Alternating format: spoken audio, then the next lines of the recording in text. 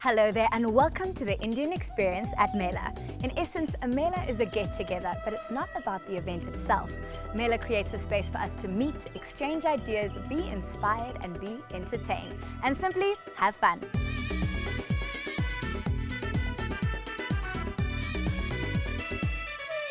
I'm Karishma Bazde and I'm based in Cape Town and I am one of the newest members of Mela and I'm loving every every every second of being a part of this team. I am a huge perfectionist, uh, definitely a type A personality. I like things mostly my way. Born and raised Cape Townian, I uh, have always been in love with the arts and being creative. That's why I find myself on this side of the camera. It's a bit weird though, because I'm usually on that side asking the questions, so this feels completely out of uh, my depth. This is Career Gang Gear pretty much. I'm crazy, I'm fun, I love doing adventurous things. I'm an avid baker, DIY person, I host a show on radio. I do not stop and I cannot stop talking and Like South Africa, India is a multicultural society, and this is reflected in so many ways, including language, custom, costume, cuisine, and the arts. It all adds up to a rich, colourful, and fascinating experience, which is why music, dance, theatre, and fine art feature regularly on the Mela lineup. India is mad about the movies, and once the Bollywood bug has bitten you, you're a fan for life. That's why it's one of my favorite parts of the show, and from new releases to soundtrack songs and celebrity updates, cinema is an essential part of the Indian experience. Indians have an eye for beauty and even in the most humble surroundings, there'll be a dash of colour or a flash of sparkle that catches the eye and lifts the spirit. The sari just oozes classic elegance, but that's just the beginning of Indian style. From salwars and lehengas for her to kurtas and sherwanis for him, there are silhouettes and interpretations for every taste, and Mela keeps you on trend. It's impossible to talk about Indian cuisine because it's a feast of so many regional styles based on local ingredients and traditions. Indian cooking has also become an international favorite, inspiring new dishes in the fusion style. And you'll find everything from tried and trusted classics to exciting innovations on the weekly Mela menu. There's nothing new about the fascination that India holds for the world. It's just grown bigger as the globe has shrunk. Bollywood has been an incredible ambassador for all things Eastern, and India is on trend.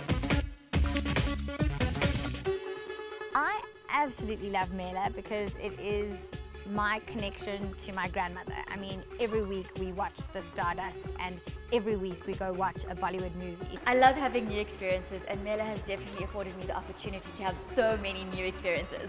I get paid to talk and I get to meet the most fascinating people, especially the ordinary people that become extraordinary. And I get to take that with me every day after a film shoot and I just grow. And that's the best thing. You know what? It's so nice to not only learn about Indian culture in South Africa, but also to experience it, to see it from different sides of different people, experience it through other people's eyes. It really is just coming to terms with who we are as South African Indians apart from all the really serious and poignant interviews that I get to do, we also get to have loads of fun. Highlights of the show must be that sometimes we're forced to do things that we wouldn't necessarily do in normal circumstances. So for me, afraid of heights. But you can't be when you're on a shoot. And you've just sometimes got to take that leap. And it's a leap of faith. Oh my goodness, highlights, I have had so many. Um, one that pops to mind immediately is shark cage diving with Neville Pillay. That was so scary and so fun. Well, there was this one time where I got to feed this giant monitor lizard some raw eggs. It was absolutely amazing. I mean, being an animal nut, that was just really one of the highlights for me. I've had some great highlights. Um, I think going to Zanzibar was one of my ultimate favorite moments. We got to go see the turtles. Um, I got to go surfing for the very first time. That was great. Um, also, along the line, I've learned a lot of yoga. I haven't practiced it all that much, but I've learned it. I've learned a couple of dance moves, like I think that's a parrot. I wouldn't know, but other than that, it's really fun.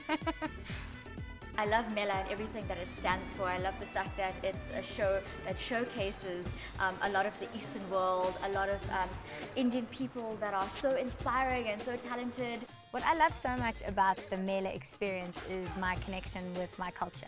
Where it takes me back to, to, to music and songs and food that is somehow in me and in my blood that I've never in my lifetime experienced. So it's amazing that it, it pulls me and ties me so, so closely back to my rich, rich and amazing culture and history. Many South Africans can trace their roots to the East, and India has made a significant contribution to South Africa's cultural heritage. Mela is a celebration of the Indian experience in the South African context, and everyone is welcome. There's a brand new season of Mela on its way with all the features that the Mela community has come to love, while also being packed with exciting fresh content. It's all part of the fascinating, inspiring and entertaining Indian experience and you can be part of it all at Mela. Jetting from Cape Town to Kolkata and beyond, this Eastern-themed get-together keeps you on trend with the latest in fashion, entertainment, health, wellness and beauty. In fact, everything that puts the style in lifestyle. Coming soon at Mela.